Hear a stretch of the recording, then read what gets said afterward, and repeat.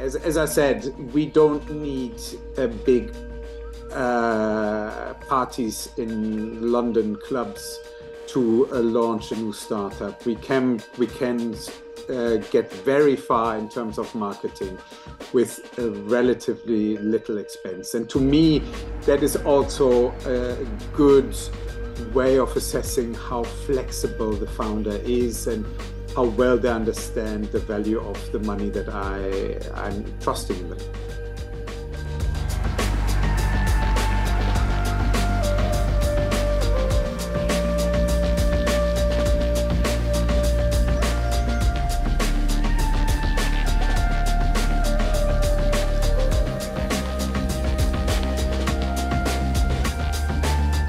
Hello, I have Alex Hirsch here. He is the founder of ProServo Limited, an investment and advisory firm specialized on startups and SMEs.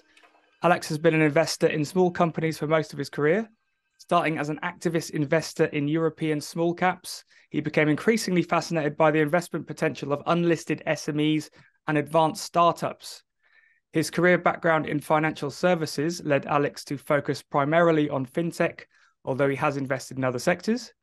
Alex sees his mission as an angel investor to helping to increase the role of female founders and investors in the venture space. He serves on the board of Scale XP, one of his portfolio companies, as a non executive director. He's also a visiting lecturer of strategies for the digital economy at the University of Law in London. So, welcome, Alex. Thank you. Thank you, Dave. Good to be here. Thank you for coming on board. So, um, as you might know, this this podcast is is for founders that are looking to raise. And and one of the most important things I find when um, talking to founders is that they they don't really see it from the investor's point of view. So I wanted to have a number of guest investors on board just to see it from their side and just to give a little bit of insight and maybe allude to some secrets or some good techniques that you that you've heard. So I want to go through the whole spectrum from initial approach to talking to talking about the pitch decks and, and what you need to see in the due diligence process and, and all that sort of stuff. So what I want to first focus on with you is is looking at that initial first approach. I'm sure that you have many, many companies, many, many founders talking to you, trying to get in touch. What's what have you found to be a good first impression or a good first message or a good platform or what what do you see as like the first interaction? What what what impresses you about that? Yeah, uh, thank you for setting up this series of interviews. I think that's really valuable for the entire ecosystem. But um, I get a lot of approaches through LinkedIn. And just uh, on the basis that I have the words angel investor in my in my profile, so more often than not, I get uh, pitch decks saying, uh, "Here's my company. I need money. Can you help?" And uh, that is not immediately what I'm looking for. I'm the decks that are most interesting for me is where a founder can make the immediate link between my bio or my investment experience uh, and uh, the immediate track record and what his company or her company is trying to achieve in this case. So uh, someone that actually has taken the time to understand what my focus is, uh, what we're good at, and what we can bring to the business. That's definitely a strong point. I mentioned LinkedIn.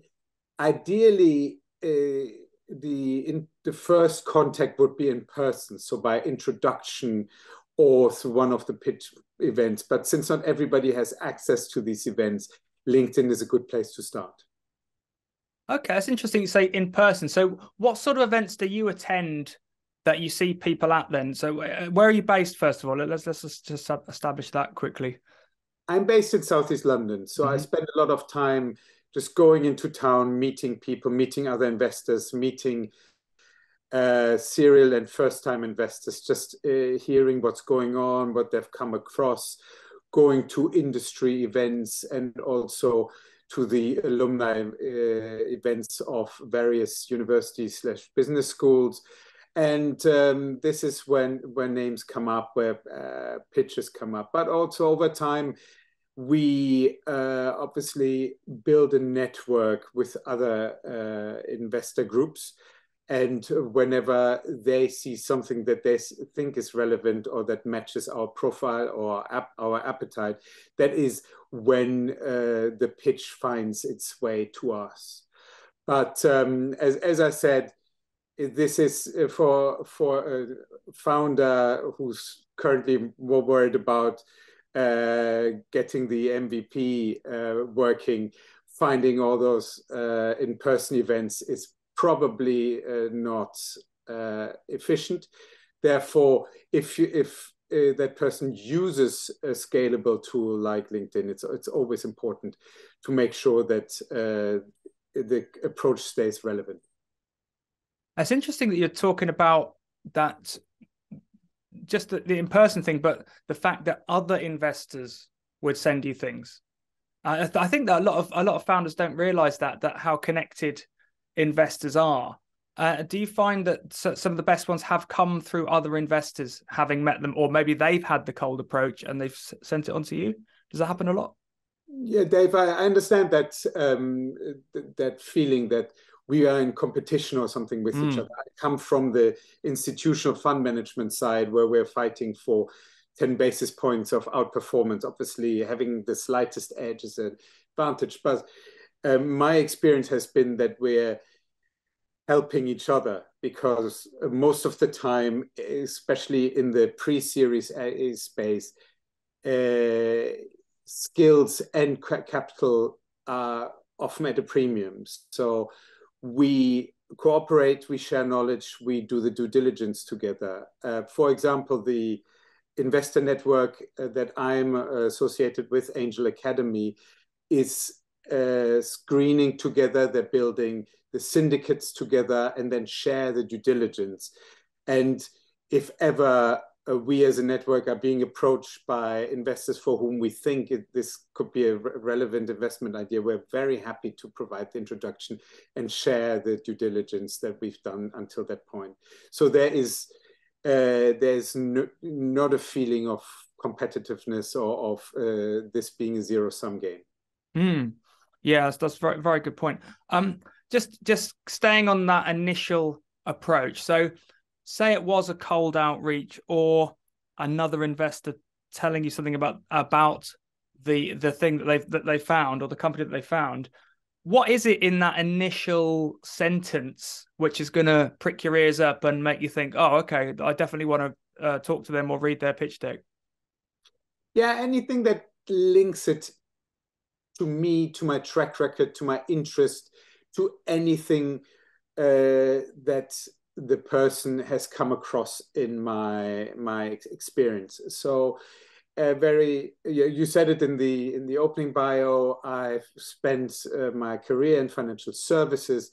Uh, therefore, my network is there. I've seen how banks, hedge funds, insurances, how they work, and as such, if someone can then uh, tell me, look, I'm trying to uh, accelerate and improve the KYC process, the know your customer process, which is very, uh, very tedious, laborious, time consuming, and not a very fun process for the people involved. Uh, and if that person then says, look, I can see that you've worked in that space for for two decades, uh, and I would really love to get your thoughts. I would will be very happy to to jump on a call with that person. That person just sends me an email and who knows what they're doing, restaurant reservations, and then says, um, yes, I can see you're an angel investor. Do you want to send me a check? That is definitely not going to work. yeah, and I'm sure you get you get plenty of those, right? Uh, far too many. Yeah. Too many. okay. Um, so it's interesting. You said again. You said about um, that you would you'd hear about the, the the approach, and then you'd possibly get on the call. What what what what role does the pitch deck come in into that? Do, do you do you want them to send you the pitch deck document first, or do you want to actually speak to them first? The pitch deck should come 1st mm-hmm. um, and the pitch deck should be um, more comprehensive than just a two-page teaser. So it should give me the feeling about a, what the idea is, what the actual product or solution is that the founder is bringing to the market.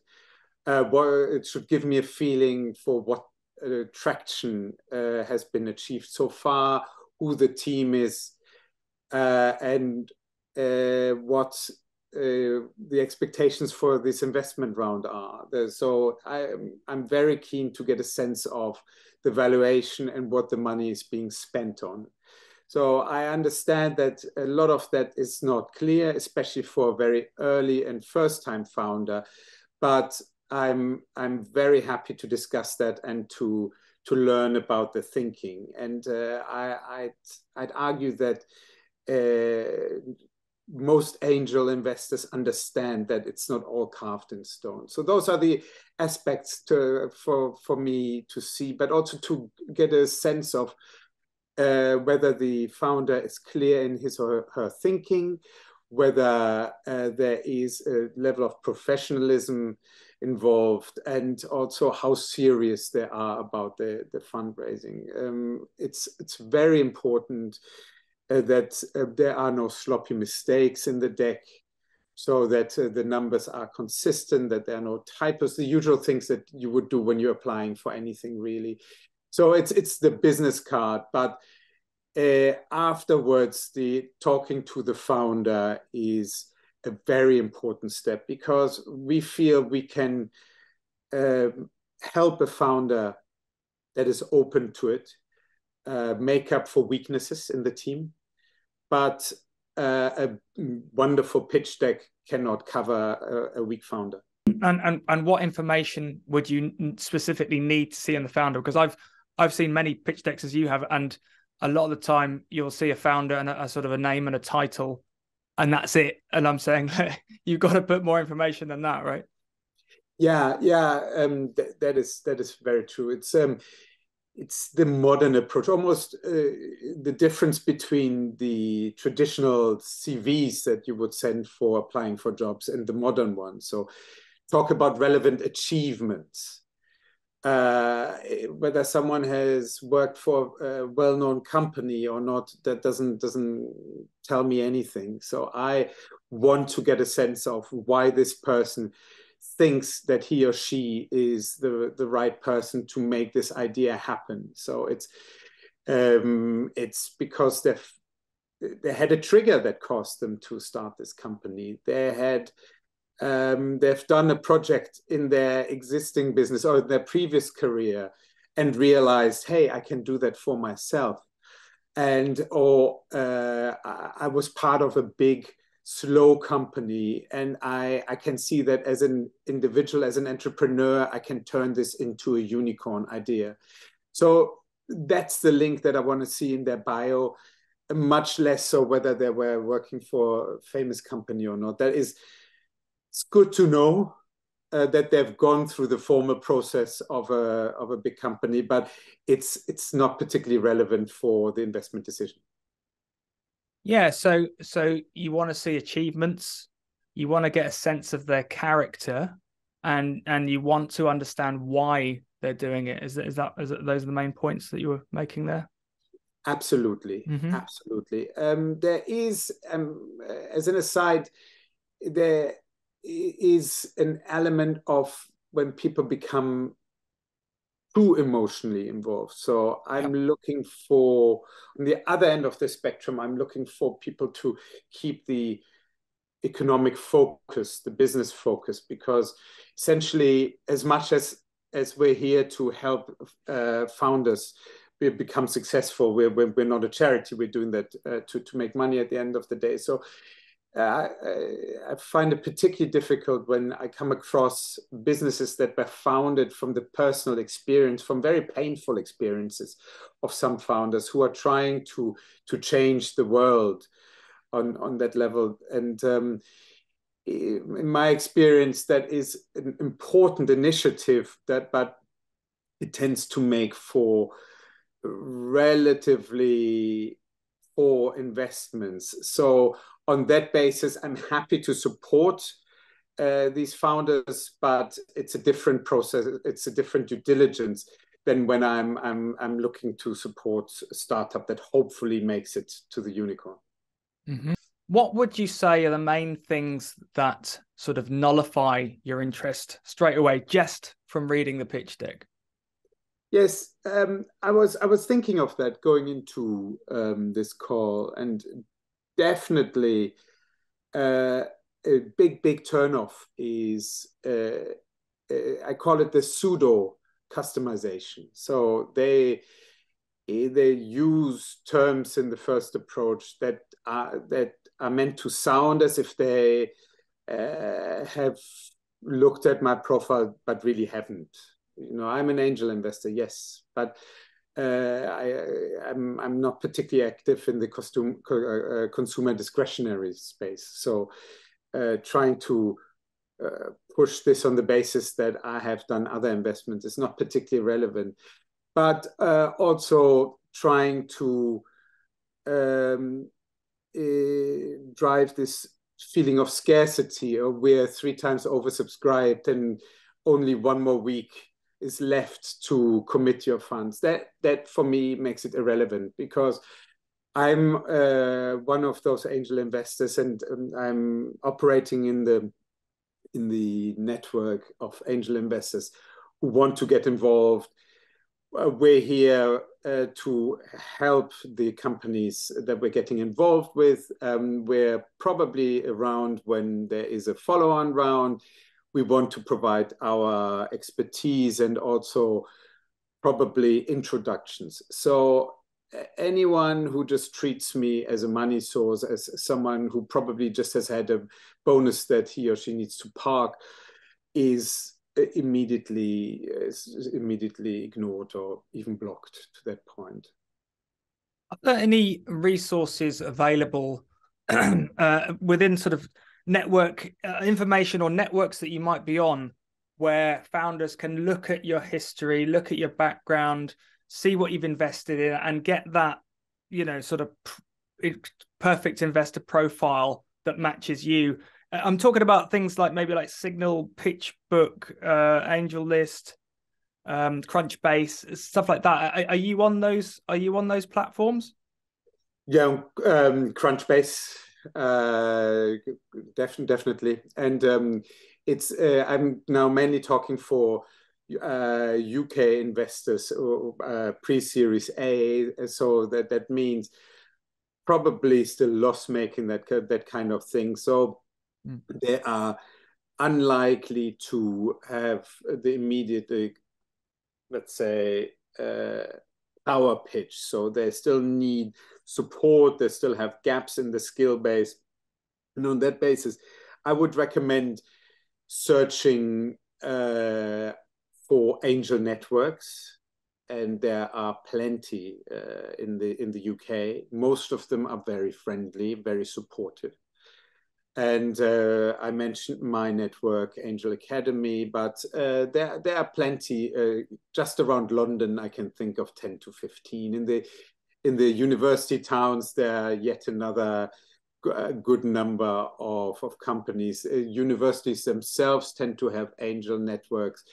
And those are very uh, good places to start. Then there is the um, UK BAA, the UK Business Angel Association, that uh, obviously is also uh, very helpful in uh, with uh, for for founders to help them find investors, help them find the skill base, and then uh, obviously accelerator programs and um, all of these things things uh, can just be put into Google and then um, a founder can find a helping hand, most often free of charge and with a bit of luck, even as a future investor.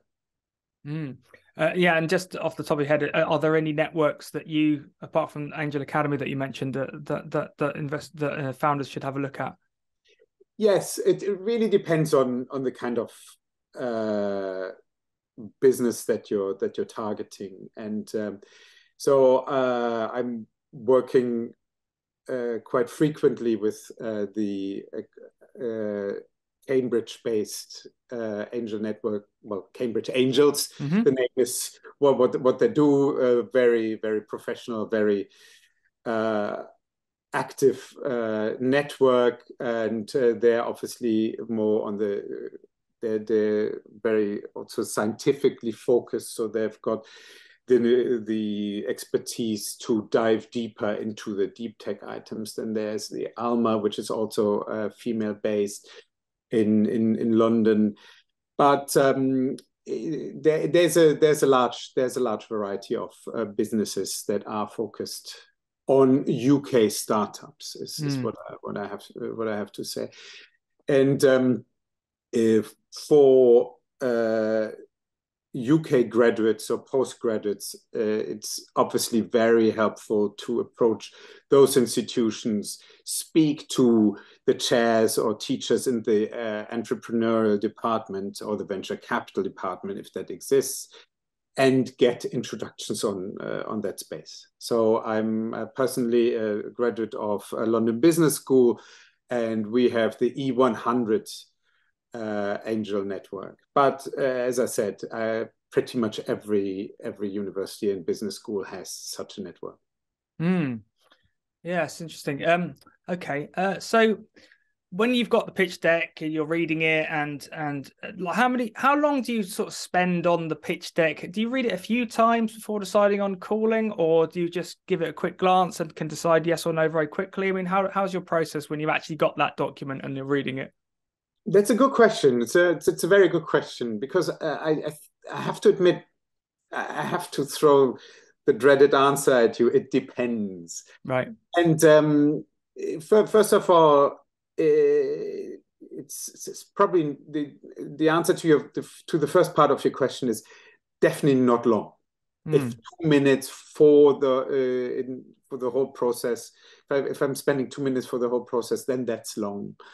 So it um, depends on the way that the approach has happened.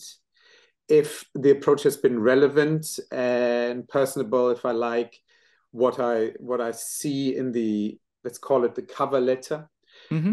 then I definitely approach it the approach the pitch deck with a different level of interest and patience than if I just see that it could be in an interesting field, uh, uh, but the cover letter was uninspiring. So the original, uh, the, the first time that I spent on uh, the pitch deck is around a minute, mm-hmm. maybe if that.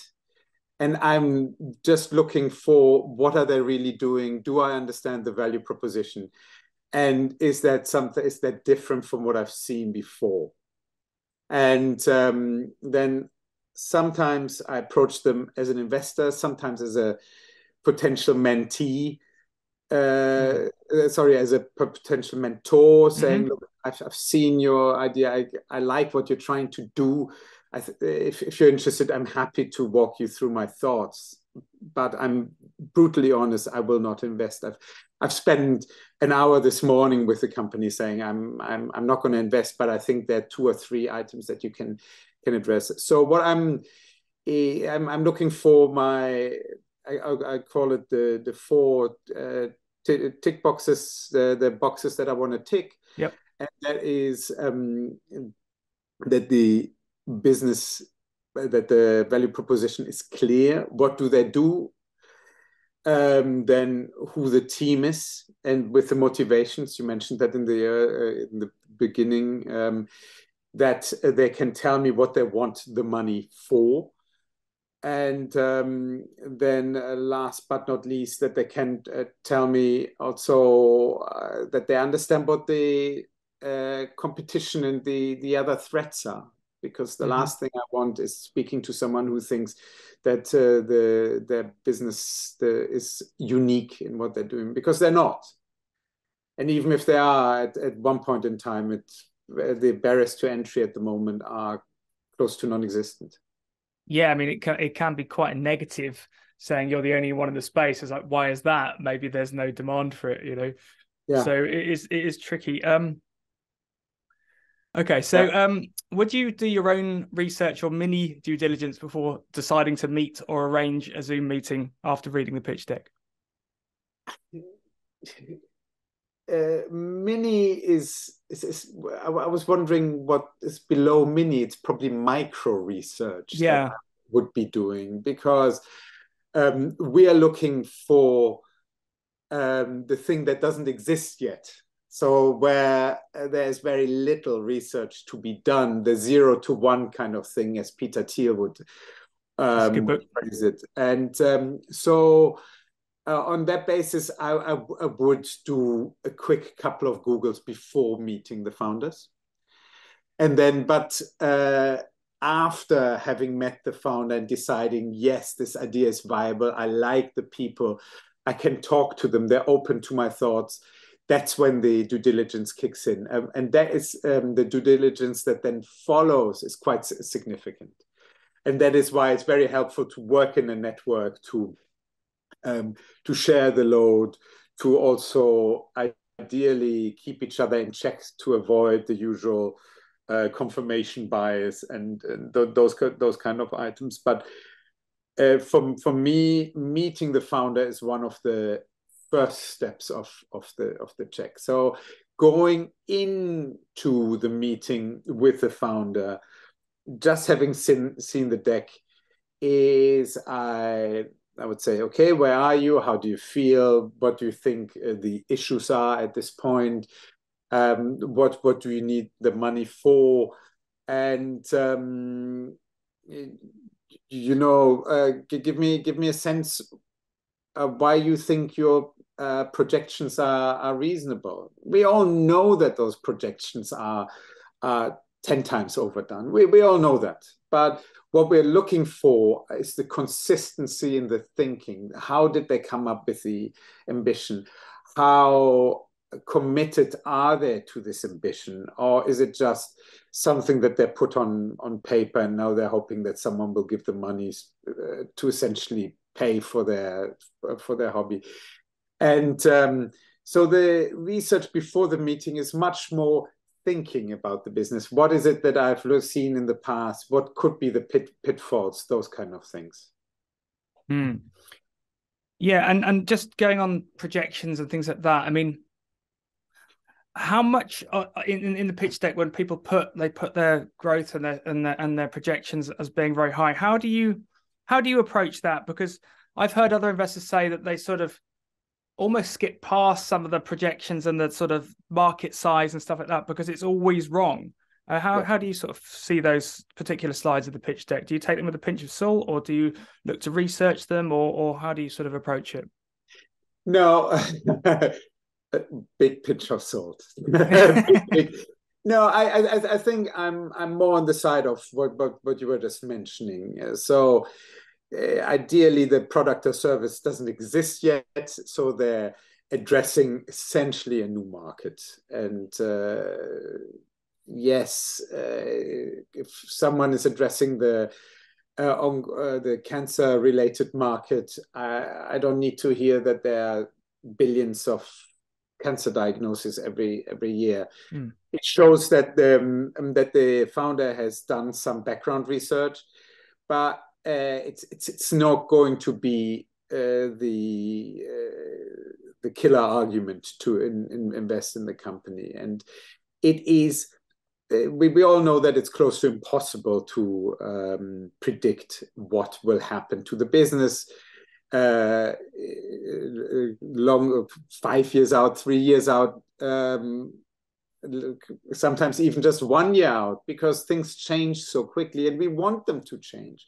What um, I personally do want to see, though, is that there's consistency in this thinking that the person has gone into the model, has um, played with the numbers, appreciate, understands what has to happen. So, what question a founder could expect from me much more is like, oh, I can see that you're expecting revenues to triple between 2023 and 2024 what are the assumptions? Are you assuming that you're signing up new clients? Are you entering a new country or are you launching a new product? How much of this is the new product uh, doing? And then uh, also now it's may 2023 and uh, you're forecasting i don't know 500000 revenue by the end of the year. How much of that have you already committed how much is of that is already firmly recurring and it's in the language it's in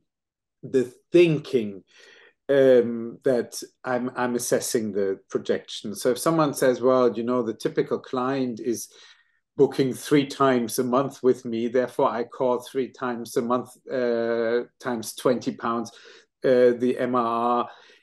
That is not the way I look at numbers. Uh, I I want people who are consistent and rigorous in their thinking, and then uh, who are able to adjust the forecast as they as they go along. And and with those numbers, um, how much of those sort of detail, how much detail do you expect to see the numbers just in the pitch deck? Is it something that you uh, you want to like see a top level there in the deck, or is it something that you want to sort of you actually want that information maybe as another hyperlink so you can so you can look into it more before doing a call? I mean, what what sort of level of detail do you like to see in the in the pitch deck for the numbers? It's a very good question. It's um it's a it's a very good question. Uh, I, I, think we angel investors are backing founders w- with a vision who want to yeah. build an exciting business. They're they're not backing CFOs who make who build beautiful models. So in the pitch deck, especially in the initial pitch deck, I would want to see uh, a forecast uh, with uh, uh, with the revenue line uh, with the uh, ex expected profits or the, the break even. If, if the break even doesn't happen in the next uh, two three years, then just just be honest about that. Mm-hmm. It doesn't need to go into the details. It doesn't need to go into uh, exactly uh, what is driving each part of the revenue. If um, the company is expecting a new product to be launched in late 2024 that will be a game changer for the business model. Of course, that will need to be highlighted. But at this point, I don't want to see that it's 7% con consulting fees, 25% subscription, and and so on. That is that is for afterwards. That is for when when we meet. But when when I meet the founder, I would expect relatively quickly to have access to a, the link of a data room. And in the data room, that is where I would want to find a, a very significant amount of information and detail. That's where I would want to see the actual the actual accounts, the forecasts. I would want to see uh, agreements. Uh, I, I would want to find all, all sorts of papers that give me the confidence that I understand the company that I'm investing in. And that is something that I can only encourage founders to start uh, putting together as early as possible. Whenever you've got a formal document, make sure you know where you filed it and then keep it up to date. Mm-hmm. So you want to see quite a lot of documentation in that data room. Then is, is there is there a kind of like a, a checklist that you can sort of r- rally off now for for anyone listening for the data room? It's it's too extensive to, uh, right. to rattle off, but it's on the website um, Proservo uh, under resources. I've got a list of um, documents that I would like to see. This this list is obviously I didn't develop this list in a dark room by myself, so this comes from working with uh, with other investors. But it's definitely uh, being being able to um, document the history, the legal uh, and financial history of your of your company, the commitment of um, uh, of the di different individuals, whether they are um, off balance sheet liabilities please be very open about that right away because it's very unpleasant if we do all the due diligence and then we find that you've promised parts of the proceeds to someone else who's been working for free or who's been use, letting you use the office and those kind of things. But as I said, um, you find the comprehensive list uh, on on the website of uh, proservo.com. Mm. Well, that's great. Well, what I'll do is I'll put a link to that. I'll get that link off you later, and we'll we'll put that in the comments. And uh, Dave, just to um, just to add, there are also a couple of links for that um, angel investors want to use to look at uh, things that can trip up uh, founders, like the EIS uh, pre-approval, the legal questions, and and and the like. It's it's not all my, my, proprietary stuff, but it's links to people that I've worked with in the past and that I found really helpful. Oh, that's brilliant. Well, that, that's a great resource. Um, I want to talk about again about just in in the pitch deck now.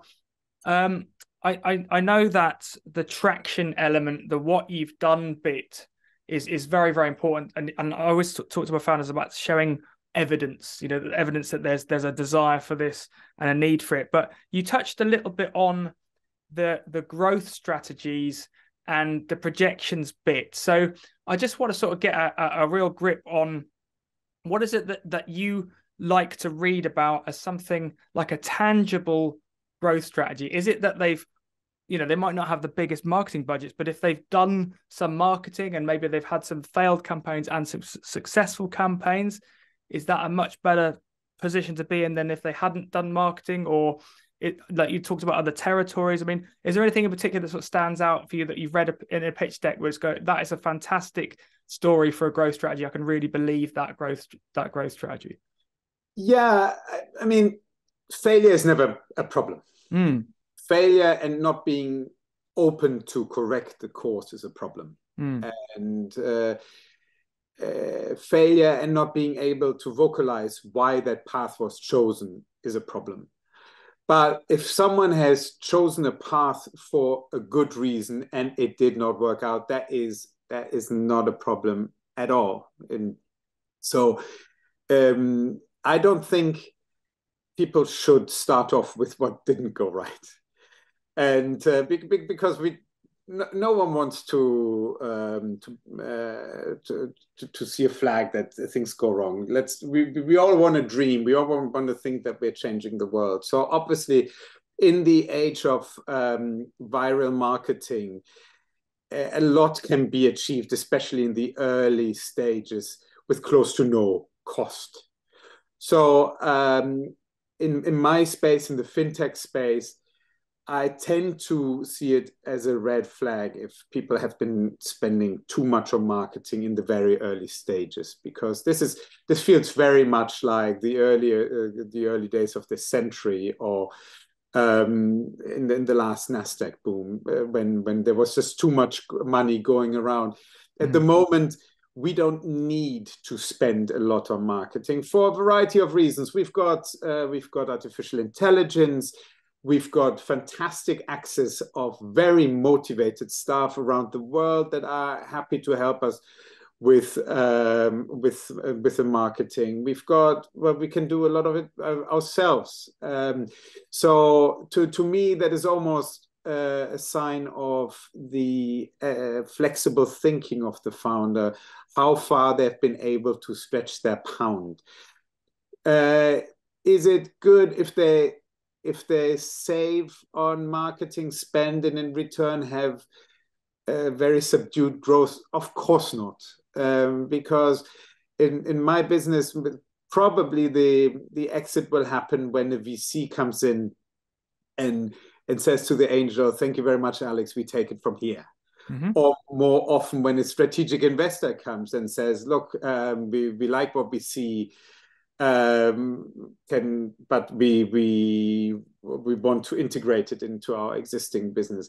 So therefore, we need to have good momentum behind uh, behind the growth. But uh, as as I said, we don't need a big uh, parties in London clubs to uh, launch a new startup. We can we can uh, get very far in terms of marketing with a relatively little expense. And to me, that is also a good way of assessing how flexible the founder is and how well they understand the value of the money that I I'm trusting in them. Yeah, it's interesting. So um, and then going back to traction, you're saying that you, as an angel investor, you might invest in quite a few things that are kind of MVP and stuff like that. And and what's the best way for a, a founder to to prove or to show you traction, even kind of before they've got to the market, or even before they've got to the, the, that, or they're at that MVP stage and they haven't got a final product? How can what's the best? What do you look for in terms of like evidence, like to say yes? I can see this is going to work, or you know what you presented me makes sense in terms of I can see the traction. Yeah, I definitely would not invest bef- uh, pre MVP. Uh, yeah. So there are too many nice ideas out there. Yeah, uh, and uh, execution is key, and uh, uh, getting to the MVP stage is already a very powerful filter to separate the founder who's just got a good idea and who can afford to take some time off work and to someone who's really serious about it. And um, it also means that that person is now becoming clear about the value that the idea is trying to deliver. So, because the MVP, uh, by the nature of the beast, has to can only address the the one pain point um, that the whole business is is trying to address. So. Mm-hmm. This is, I would definitely see, need to see an MVP, but. Um, your question was more about the proof of concept. It's uh, they or, or, maybe proof of proof that's going to be that people are going to buy it. People are going to love it.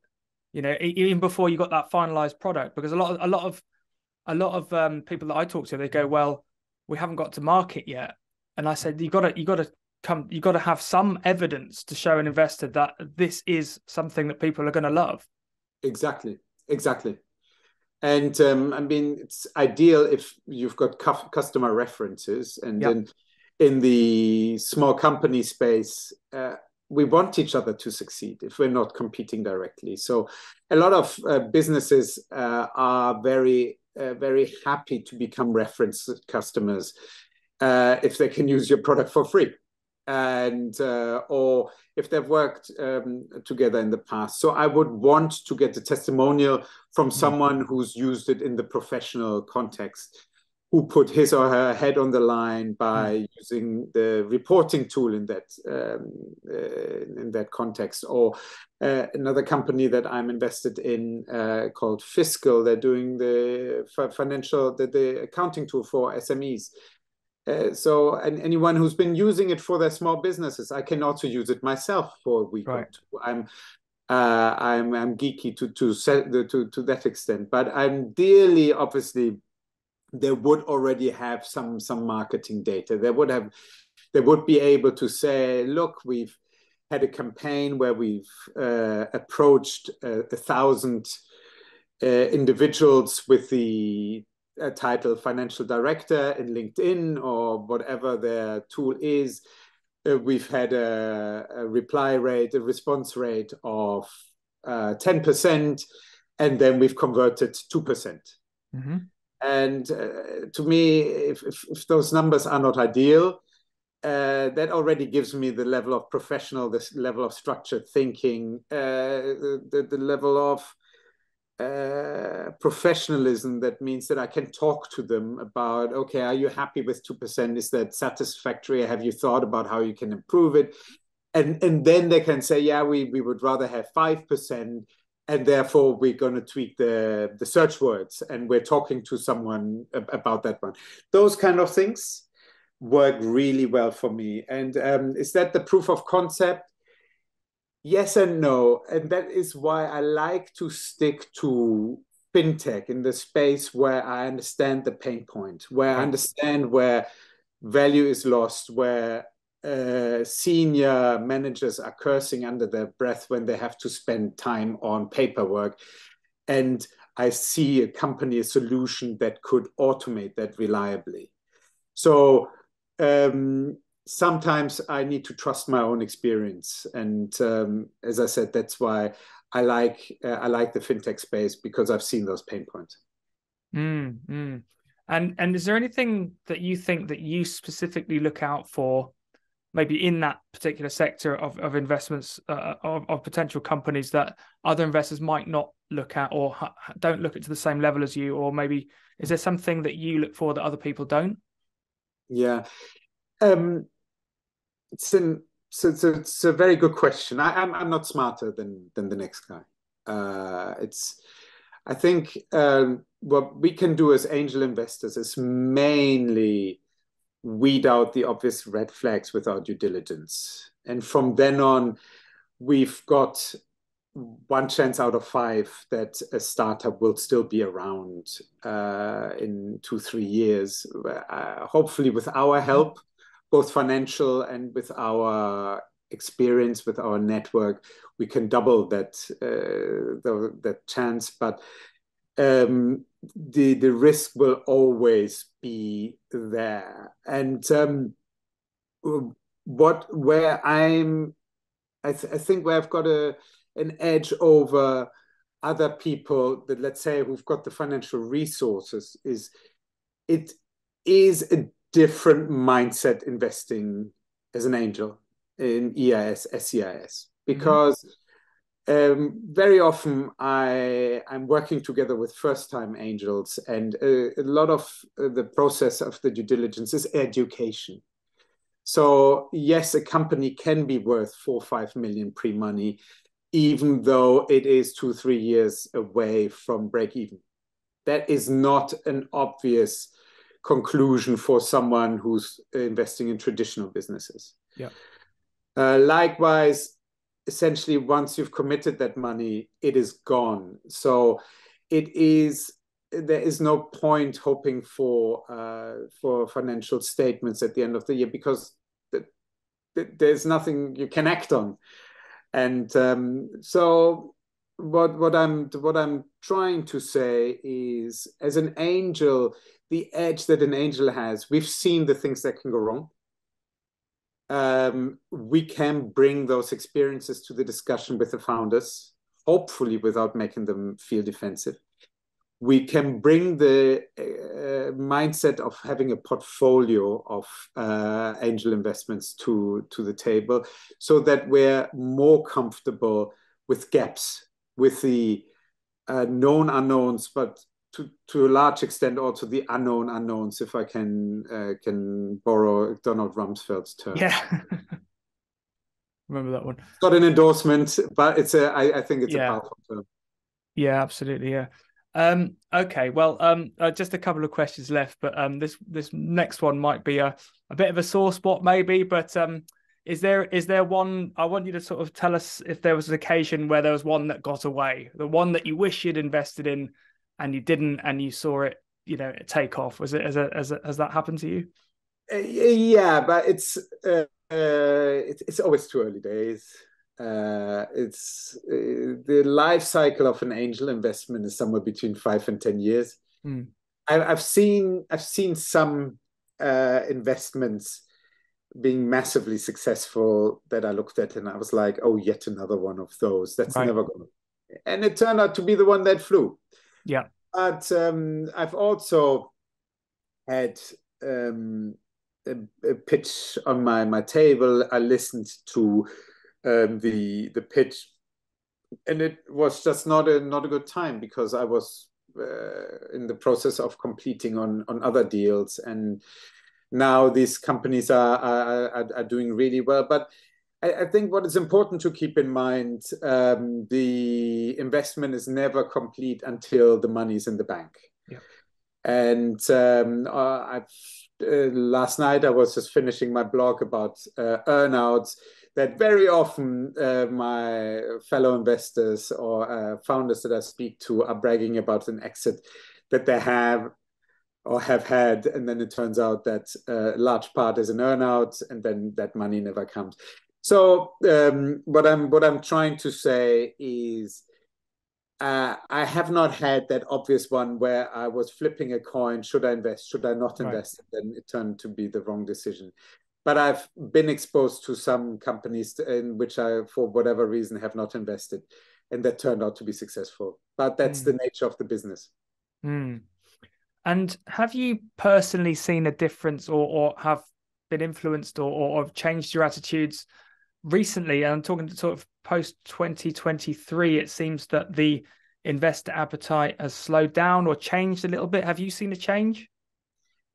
Yeah, it's um I, I, mentioned the first time angels that mm. and definitely those people are looking at the Nasdaq. They're reading headlines like Klarna. They're reading headlines like Revolut, mm. which have nothing to do with us, but with the kind of investment style that I'm, I'm involved in. Uh, but but they, they they get scared. They run away. They say, "Oh, there's no corporate governance. The, these things uh, will never make money." Those kind of things. So they stay away. Um, well, what also has gone away are those. I call them um, family offices. Those were in like the, those were inbound investors uh, uh, that were offering money to founders at outrageous valuations, very mm. attractive valuations, but clearly did not know anything about the space. And uh, it's, it's, the kind of um, companies that would then say, um, uh, so when can we expect the first dividend? And we would say, never. Um, and so since these are very deep pockets, they have fallen away. What in my network space has happened is that uh, we are aware we get better valuations. We expect more attractive valuations. Uh, we expect cooperative founders, um, but um, and uh, but to some extent, uh, some of us are investing a bit less because obviously our exits are delayed. So right. there's uh, there's less money to redeploy. Is there is it really a big problem in in our space? I, I would say we're back to 70 to 80% of what we were um, uh, just pre-crisis. Mm-hmm. Mm-hmm. Interesting. Okay, so one one thank you so much for doing this, and I've I've, I've learned so much, and I'm sure all the listeners have as well. But um, if you were to give uh, uh, one piece or maybe three pieces of killer advice when you're entering a fundraise, what would they be off the top of your head?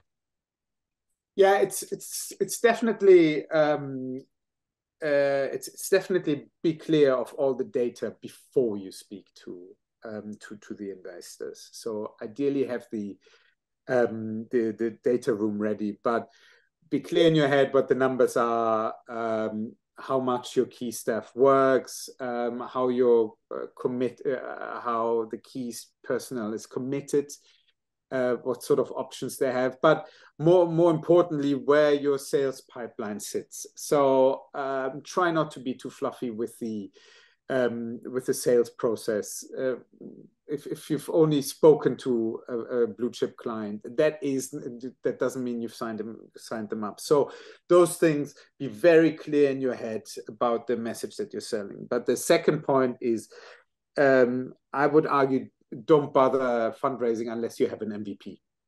And from an investor's uh, perspective, unless they, they can actively help you build that MVP, uh, it is far too risky and you can barely reflect that in, in a valuation uh, discount. And uh, from your perspective, you have to bring down the valuation so much that yeah. Uh, you lose a very, very large uh, chunk of your company uh, to to make you wonder whether this is still worthwhile.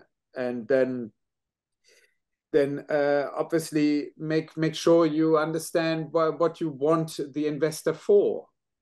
And uh, talking to uh, let's say a general group that's that's fair enough but if you're speaking to a network know who you're talking to what sort of um, investment style they're, they're they're looking for and what you what you can get from them because angels um, we're we're doing it uh, for the financial return of course but we also do it because we we've come to a point where we want to pass on the experience we want to we want to help the next generation and we obviously want to make sure that innovation stays alive and mm. so make sure you are where you're talking who you're talking to and that you um, give us the best opportunity uh, to help you.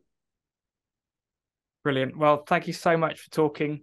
It's been really, really interesting. And um, yeah, just thank you for coming on board. Thank you, Dave.